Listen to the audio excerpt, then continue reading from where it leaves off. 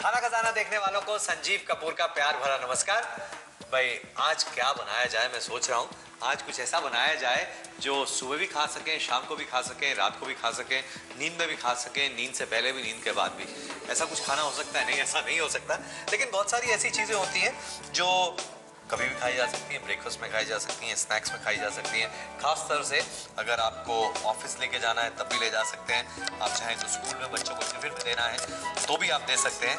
तो कुछ ऐसी चीज़ें इंटरेस्टिंग पराठे, नए पराठे कौन से हो सकते हैं, कैसे बना सकते हैं? शुरुआत करते हैं इस पराठे से। और ये जो पराठा है, इसके लिए ये आटा मेरे पास है। और आटे में नमक और धनिया डाल के इसमें दूध के साथ में इसे गूंदा हुआ है। तो ये हमें चाहिए। और अब इसमें एक, इसकी जो हमें स्टफिंग तैयार करनी है। जी हाँ ये स्टफ्ड पराठे हम बना रहे हैं आज। तो स्टफिंग जो है, वो तैयार करनी है। तो ये प्याज है, थोड़ी हरी मिर्च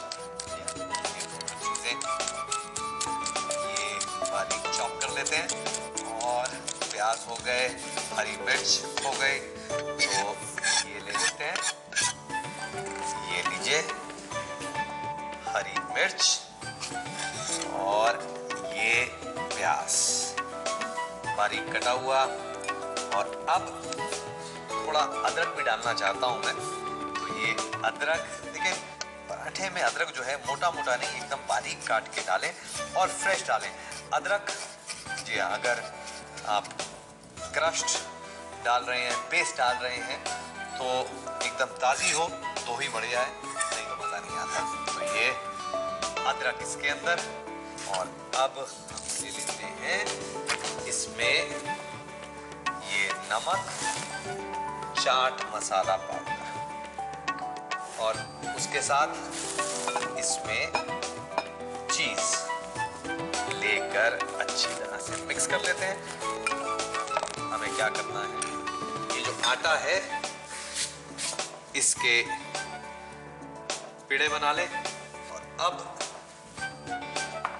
इसे हम बेल लेते हैं। और ये जो पराठा है, इसकी स्टफिंग चीज़ की स्टफिंग ये आप इस तरह से फोल्ड करके बीच में अच्छी तरह से दबाएँ। ये फोल्ड किया। पूरा ये दबा लिया, ये देखिए, और इसे सील कर दिया। पेड़ा बनाए, इस पे थोड़ा सूखा आटा लगाया, और ये ये जो चीज़ वाला पराठा है, हमने इसमें स्टफिंग पूरी डाल दी, और इसे बेल लेना है, और फिर ये इसे अच्छी तरह से ताकि सूखा आटा इसमें से निकाल लें और तवा जो है वो गरम। मैं जब घर में इस पराठे को बनाता हूँ तो इसमें ऊपर से तेल वगैरह बहुत कम लगाता हूँ। भाई क्योंकि चीज़ है तो चीज़ हाई प्रोटीन होता है, लेकिन फैट भी काफ़ी ज़्यादा है। तो इसलिए ऊपर से फैट थोड़ा कम लगाएँ। वैसे आप लगाना चाहते हैं, उसके बाद में अच्छी तरह से एक्सरसाइज करना चाहते हैं। क्योंकि देखिए, अगर कैलोरी ज़्यादा कंज्यूम कर रहे हैं तो कैलोरी ज़्यादा बर्न भी करें। लोग हमेशा कहते हैं कि हमारा वज़न कम नहीं होता, हम खाते तो कुछ है नहीं, हवा भी खाते हैं तो लग जाती है, वज़न कम ही नहीं होता है। देखिए, वज़न कम करना है तो दो चीज़ें बहुत ज़रूरी हैं। वो ये कि अपनी डाइट को कंट्रोल करें और उसके साथ साथ आप अपनी फ़िज़िकल एक्टिविटी को बढ़ाएँ, ताकि आपका जो मेटाबॉलिक रेट है, वो बढ़े। क्योंकि अगर वो कम है तो आप कुछ भी नहीं खाएँगे, वज़न बढ़ता रहेगा। लेकिन अक्सर मैंने ऐसा देखा है कि लोग कहते तो हैं कि हम कुछ भी नहीं खाते, लेकिन अगर वो गिनना शुरू हो जाएँगे दिन भर में कितना खाते हैं तो लगेगा अच्छा ये हमने एक दिन में खाया है। विश्वास नहीं होता। तो एक दिन आप जो खाते हैं, पूरे दिन की लिस्ट बनाए। जैसे कुछ खाया, पेपर पे लिख दिया। जैसे कुछ खाया, लिख दिया। कितना लिख खाया, उतनी क्वांटिटी लिख दी। फिर अगले दिन पढ़िए। फिर लगता है, ओहो, हो नहीं नहीं नहीं, ये तो कभी कभी ऐसा होता है, रोज तो ऐसा नहीं होता। ऐसी बात है, अगले दिन फिर ट्राई करके देखें।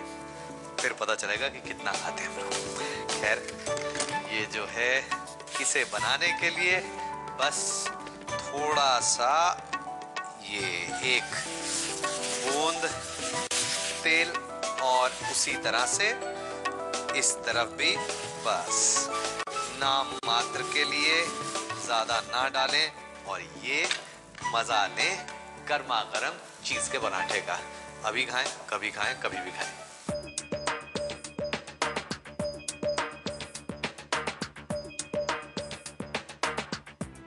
इसके लिए हमें चाहिए एक कप चीज़ ग्रेट किया हुआ, दो कप आटा, नमक स्वाद अनुसार, दो हरी मिर्चें बारीक कटी हुई, एक प्याज बारीक कटी हुई, एक इंच का टुकड़ा अदरक का बारीक कटा हुआ, दो छोटे चम्मच चाट मसाला और शैलो फ्राई करने के लिए तेल।